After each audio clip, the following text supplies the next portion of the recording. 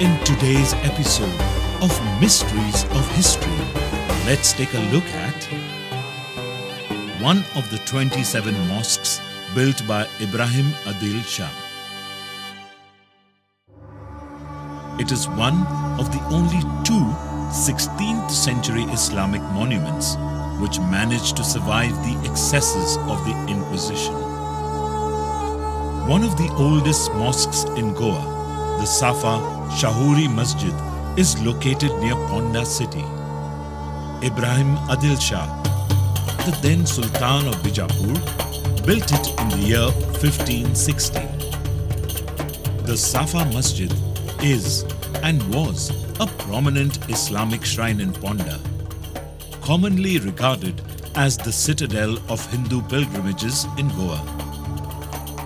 Ponda's forests were always dominated by the Hindus, being a safe haven for their idols, which could be salvaged from other shrines. During the reign of the Sultan of Bijapur, the region witnessed a proliferation of mosques and Ponda alone was home to 27 of them.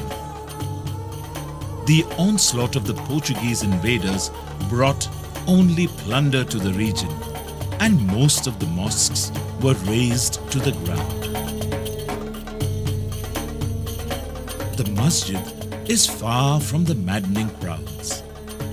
It has unique beauty surrounded by widespread gardens, a massive water tank measuring 30 by 30 meters with mihrab design. It has well constructed masonry tank with 44 hammams or hot air baths on its four interior sides. The tank is located to the south of the prayer hall, unlike in most mosques where they are generally located outside the main entrance. This has led to speculation that the tank may have been part of another religious structure which once stood there. Local legend also has it that there are hidden tunnels in the walls of the tank, which connect it to a nearby water reservoir. The tank reflects its image, a shimmering reflection of the past rulers and their legacy to Goa's future. Unique to this mosque, you will find the tank having a flight of steps which resembles a Hindu ghat or bathing area. The mosque managed to remain unharmed during the Portuguese invasion. It is a small, single-chambered mosque with a tiled roof having a flight of stairs in front. A masonry colonnade adorns the outer periphery of the mosque platform surmounted by finials.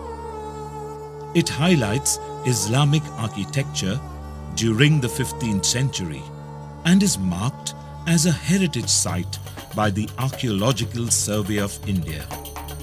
However, many of the original columns are missing.